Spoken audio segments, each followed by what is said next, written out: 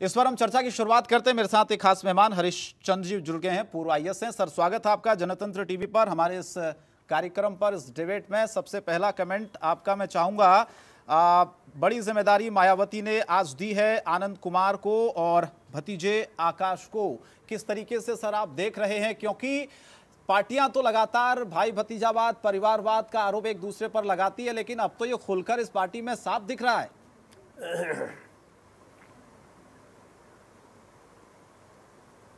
देखिए शुरू से अगर आप मायावती को देखें तो शुरू मायावती बहुजन हिताय तो छलावा है। जी। मायावती मैं कहता हूँ कि बसपा मायावती हिता मायावती सुखाय मायावती हिताय होके रह गई है। हम्म। इसके अलावा बहुजन का बसपा में कोई कल्याण नहीं है तो छलावा मात्र है धोखा है गरीब दलितों को। देखिए आप जैसे आपने बताया कि आनंद कुमार मामूली आदमी थे। मुझे लगता है कि क्लास थ्री के कर्मचारी थे नोएडा में और वो भी अपनी बहन जी की कृपा से हुए थे। और कुछ करोड़ से एक हज़ार करोड़ कुछ आपने बताया। जी। तो इसका केवल इनका उद्देश्य ये है मायावती का केवल अपने परिवार का अपना सुख का है। दलित तो दलित और पिछड़ी जात के लोग तो मोहरा हो गए हैं। ये शुरू से मैं कहता हूँ कि जिन लोगों ने पार्टी को अपने खून पसीने से सींचा, बढ़ाया। उन लोगों को एक एक करके मायावती ने खिड़की के, खिड़की से बाहर फेंकती गई और अब इनके भाई भतीजे उसमें रह गए हैं। तो ये तो दुर्भाग्य ही है। और देखिए इसी बात से लगाया जा सकता है, मायावती के बारे में खुद एक बार टाइम्स ऑफ़ इंडिया में छपा था। कि एक दलित की बेटी को और लोग कहते हैं कि दलित की बेटी नहीं है दौलत की बेटी है तो कोई अतिशयोक्ति नहीं है। बिल्कुल सही बात है।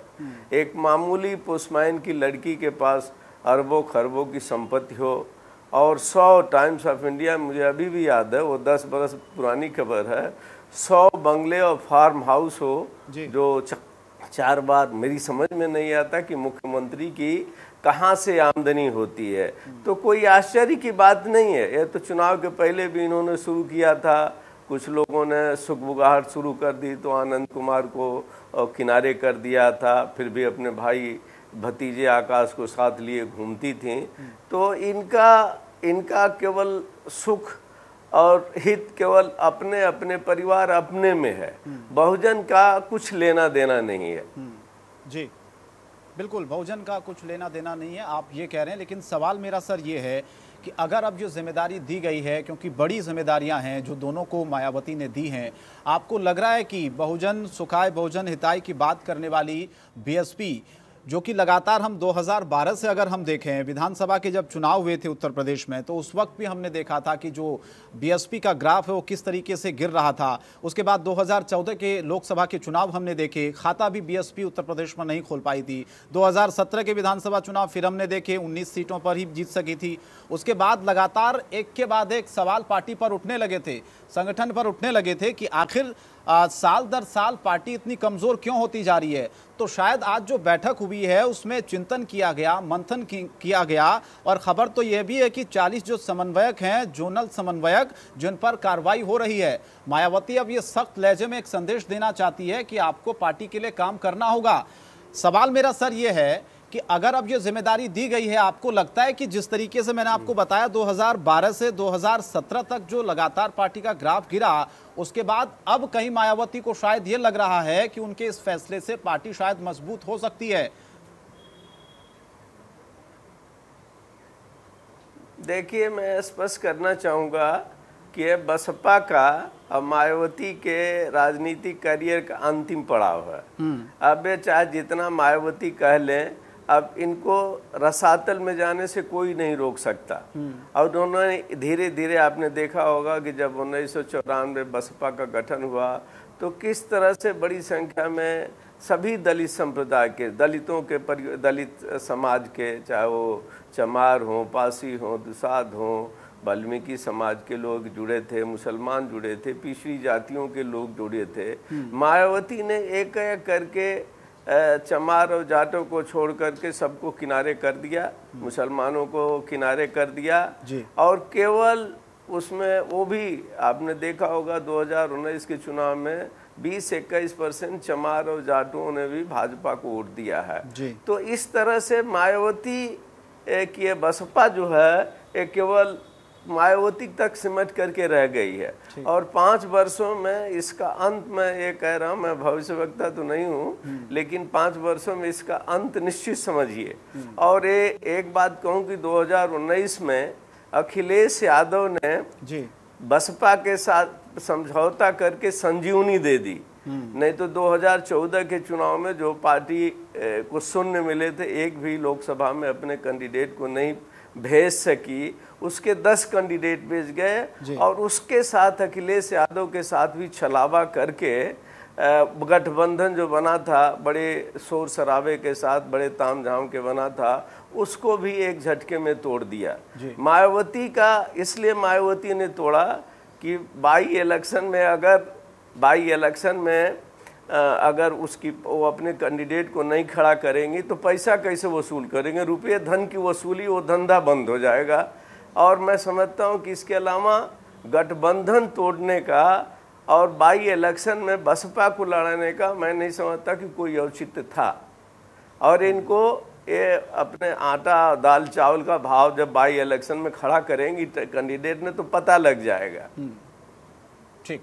बिल्कुल, इस पर चर्चा आगे हरिश्चंद जी जारी रखेंगे और सवाल इसको लेकर भी ज़ाहिर तौर पर उठेगा कि परंपरागत जो वोटर था बीएसपी का आखिर वो धीरे धीरे साल दर साल क्यों उससे छिटक छिटकता गया, क्यों उससे दूर चला गया, इसके पीछे की वजह भी आपसे जानेंगे। फ़िलहाल एक छोटे से ब्रेक के लिए हमें रुकना पड़ रहा, बने रहेगा हमारे साथ, फ़ौरन हाजिर हो रहे हैं।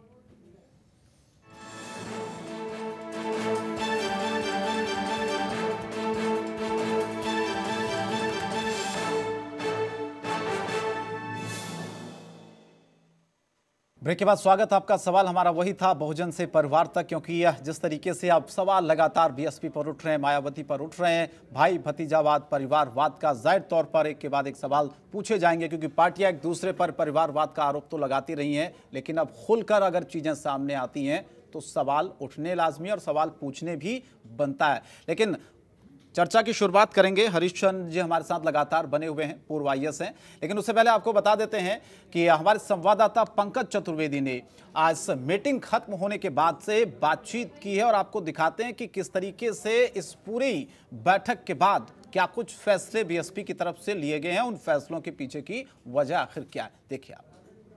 भाजपा प्रदेश कार्यालय में राष्ट्रीय नेताओं की चली बैठक करीब दो घंटा खत्म हो चुकी है। नेताओं का निकलने का सिलसिला शुरू है और बसपा प्रमुख मायावती अपने घर जा चुकी हैं। इस बैठक में सबसे अहम खास बात ये था कि चुनाव को बैलेट पेपर से कराने के अलावा अपने भाई जो आन, आकाश आनंद थे, उसको आज मायावती ने पार्टी में राष्ट्रीय कोऑर्डिनेटर का पद दिया है, जबकि भाई को फिर से राष्ट्रीय उपाध्यक्ष बनाया है।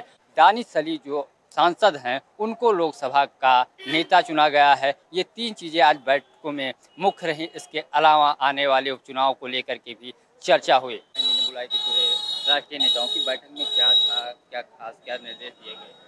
क्या सब लोग मिलके काम करना पड़ेगा? सब एक ये तो शेड्यूल कैस्ट का नहीं सब लोग मिलकर बाई चरण कमेटी के करके करना पड़ेगा। कोई खास फेरबदल नहीं हुआ। आकाशा को लिए नेशनल कोऑर्डिनेटर बना दिया है। और आनंद जी के लिए राष्ट्रीय उपाध्यक्ष बनाया। उपचुनाव होने हैं संगठन में विस्तार यानी उपचुनाव पार्टी अकेले लड़ेगी। बहन जी ने इलेक्शन के बाद पूरे समीक्षा की और जो थी उसमें कुछ रद्दोबदल किया। पार्लियामेंट में कुमार दानिश और हिम्मत नहीं हारनी है। संगठन को बताया कि हमें दोबारा मेहनत करके 2022 जीतना है और हिम्मत नहीं हारनी है। गठबंधन को लेकर के कोई चर्चा? गठबंधन को लेकर चर्चा हुई उन्होंने बताया कि हम कैसे अलग हुए। थे हमारे साथ अलीगढ़ के मेयर जिन्होंने बताया कि मायावती ने संगठन के साथ साथ जो उपचुनाव चुनाव में हार मिली है इससे निराशा में ना इसको तब्दील किया जाए फिर से मेहनत किया जाए और बसपा को एक बार फिर से उत्तर प्रदेश सहित देश में अच्छे प्रदर्शन की उम्मीद मायावती ने जताई कि आप लोग करिए निराश होने की ज़रूरत नहीं। कैमरामैन रोशन यादव के साथ पंकज चतुर्वेदी जनतंत्र टीवी लखनऊ। तो ये पंकज लगातार बातचीत कर रहे थे इस बैठक के बाद नेताओं से लेकिन सवाल फिर वही है कि बहुजन से परिवार तक इस डिबेट लगातार हम इस पर कर रहे हैं। सवाल भी लगातार ज़ाहिर तौर पर आ, उठ रहे हैं बीएसपी पर मायावती पर। लेकिन एक बार फिर से मैं हरीश चंद जी के पास चलता हूँ। मेरे साथ वो जुड़े हुए हैं पूर्व आई हैं। आ, सर सवाल इस बात को लेकर था कि आनंद कुमार को जो एक बड़ी ज़िम्मेदारी दी गई है नेशनल कोऑर्डिनेटर उन्हें बनाया गया एक बड़ा पद होता है अपने आप में ये। आनंद कुमार की अगर हम बात करें 2017 में राजनीति में उनकी एंट्री हुई है ज़्यादा अनुभव तो नहीं है उन्हें। आपको लगता है कि जो एक बड़ी ज़िम्मेदारी दी गई है कितना आसान और कितना मुश्किल होगा उनके लिए?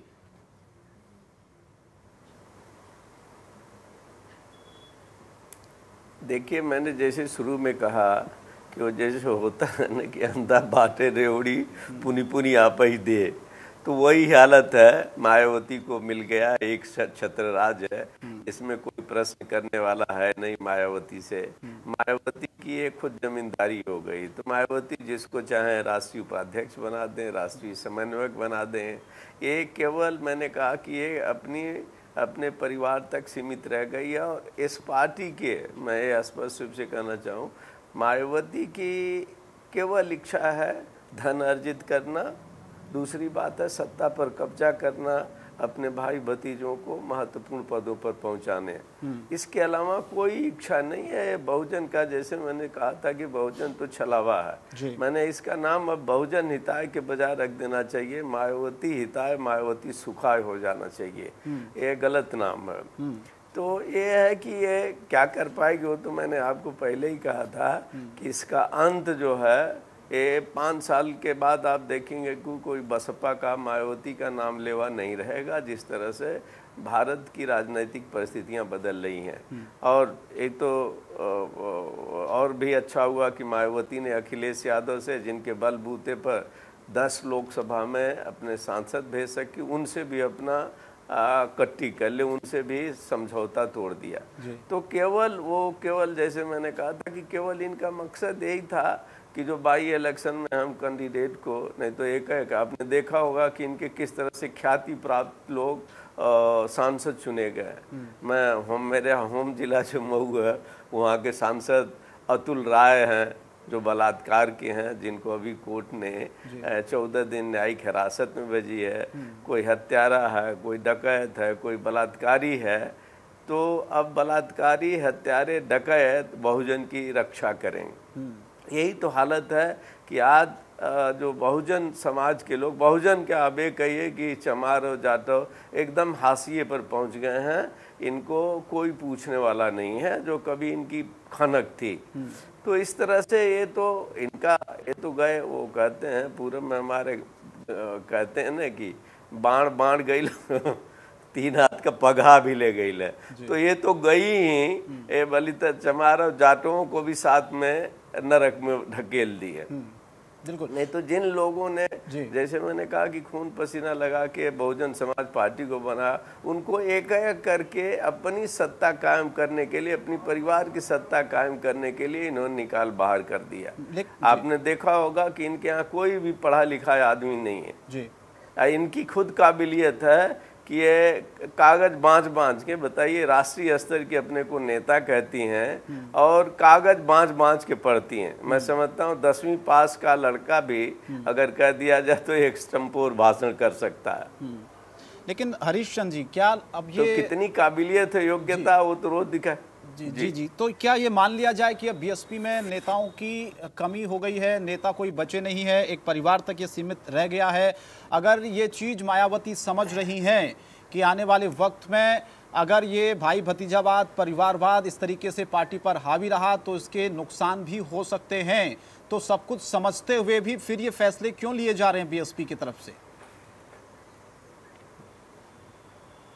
ये तो इनसे प्रश्न ये तो इनसे सवाल करिए ना कि क्यों ले रही है। हम्म। ये किसी तरह से आप क्या समझते हैं? रावण को क्या हुआ? रावण जब अपने सारे भाई भतीजे सबके सबके मरवा करके आखिर में अकेले बचा था हम्म। तो वो आ, आ, क्या कहते हैं? विपरीत काले विपरीत काले अरे विनाश काले विपरीत बुद्धि। जिस तरह के है ना? हम्म। तो इस तरह की विनाश काले विपरीत बुद्धि वाली बात है। हम्म। तो इनकी सोच बस इतने तक रह गई है।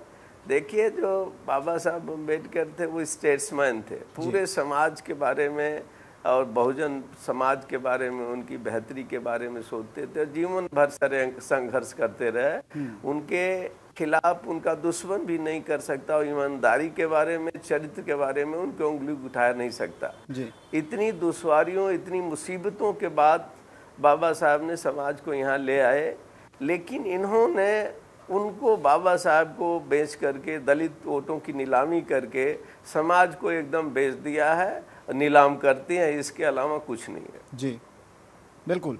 लेकिन सवाल हरीश चंद जी, एक ये भी है कि जो पहले हम देखते थे उत्तर प्रदेश की राजनीति में एक वोट बैंक हुआ करता था, बीएसपी का, मायावती का धीरे धीरे हमने देखा 2012 के बाद वो खिसकता चला गया और आज तो स्थिति हम सबके सामने है किस तरीके के फैसले बीएसपी सुप्रीमो मायावती ले रही हैं जिससे सब हैरान हैं कि आगे क्या होगा पार्टी का भविष्य क्या होगा। सवाल तो ये भी उठ रहे हैं कि क्या पार्टी में कोई नेता अब नहीं बचा है? क्या पार्टी खत्म होने की कगार पर आ गई है? सवाल मेरा सर ये है कि जो एक परंपरागत वोटर था जो धीरे धीरे धीरे खिसकता चला गया साल दर साल आपको क्या लगता है उसके पीछे की वजह?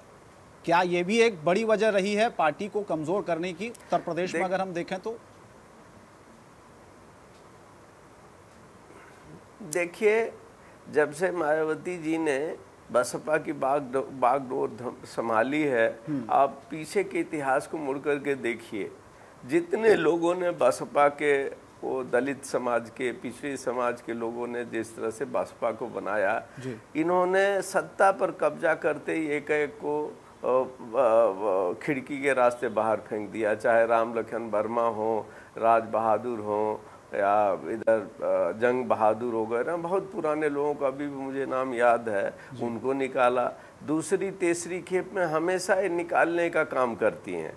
और जो इनसे पैसा नहीं देता है अक्सर आपने देखा होगा नसीमुद्दीन सिद्दीकी ने यही आरोप लगाया स्वामी प्रसाद मौर्य ने लगा अब नाम को तो हज़ारों किस दर्जनों महत्वपूर्ण नेता हैं जिन्होंने इनके ऊपर पैसा वसूली का आरोप लगाते हुए इस पार्टी को छोड़ दिया हम्म। तो इन्होंने एक एक करके एक तो इनको पढ़े लिखे लोगों से बहुत एलर्जी है। पढ़े लिखे लोग क्योंकि पढ़े लिखा आदमी जब जाएगा तो प्रश्न करेगा सवाल करेगा। हम्म। ये अनपढ़ और अंगूठा छाप लोगों को अपने इर्द गिर्द रखती हैं ताकि इनसे प्रश्न न कर सके।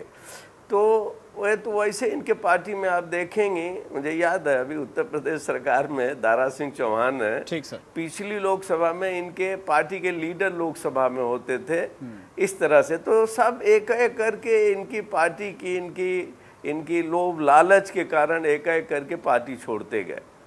तो वो तो देखिए अब ये तो अंतिम साँसें ले रहा अब इसको भगवान भी इस पार्टी को नहीं बचा सकता जो जिस तरह से एक कदम तो सोचती हैं कि चलते चलते अपने भाई भतीजों को ही कुछ राष्ट्रीय उपाध्यक्ष और राष्ट्रीय समन्वयक बना तो कुछ तो बेचारों के आगे पीछे नाम लिखने के लिए होगा। नहीं तो क्लास थ्री के एम्प्लाई थे कौन पूछेगा इनको? चलिए बहुत शुक्रिया सर।